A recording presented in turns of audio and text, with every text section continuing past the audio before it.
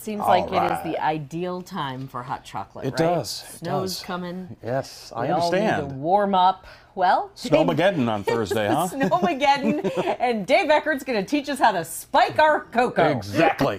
So I Boy, we it. need it after the Chiefs game yesterday, and we're going to need it with this snow and cold I coming in, aren't we? So you're just the guy to teach us how to do this. I am. So last hour I did kind of classic hot Mm-hmm. chocolates. This hour I'm going to add a little booze to it. Okay.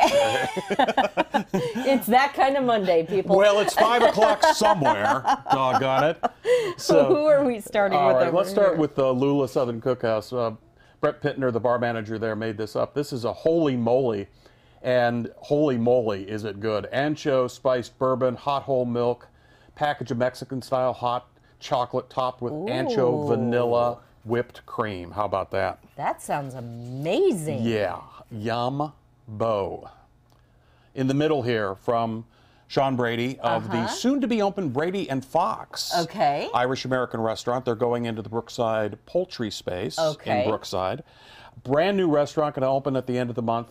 This is a good start on a cold night, and that's apropos, isn't it? Milk, Cadbury chocolate, Milky Way bars that he actually Ooh. Melts in there, and then Five Farms Irish cream, and uh, a little Irish whiskey to the mixture as Wow. well. Ooh, that sounds Yeah, it's a good start to a cold night. tasty as well. Okay, indeed. and then over here. All right, this is from my good friend Cheryl Bisbee at Boozy Botanical Simple Syrups. Okay. So this is something you could do at home. Rosemary mint mocha. So you use the rosemary mint Boozy Botanical Simple Syrup. Okay. And then you use a little hot chocolate, the mocha, and you can add either vodka. Oh, let me turn that down. Yes, exactly. There we go. Sorry.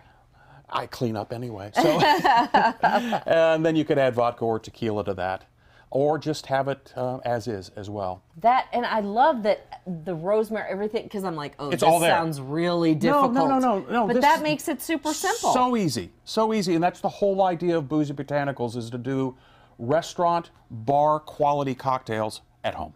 All right. All right. Finally, Laura Comer from the Kauffman Center. Mm-hmm. Classic hot chocolate and a classic chef-driven recipe because it has a lot of ingredients. Okay. But she said, pour the first batch in, get it nice and hot, and then you add all of this stuff, So we've got it looks like dark chocolate and dark milk chocolate, and milk chocolate. What's that? Vanilla. Okay. Let me read here. Okay. Okay.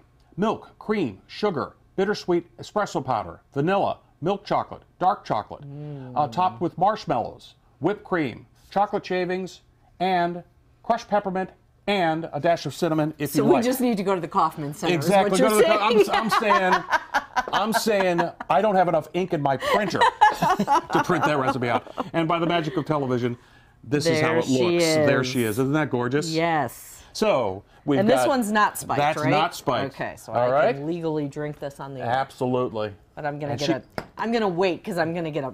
You can you can have, have this one too. This is going to be fresh.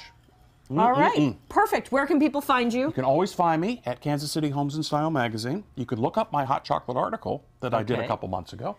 And then please follow me on Eats and Drinks with Dave on and Drinks with Dave. Instagram. All right. Thank you, sir.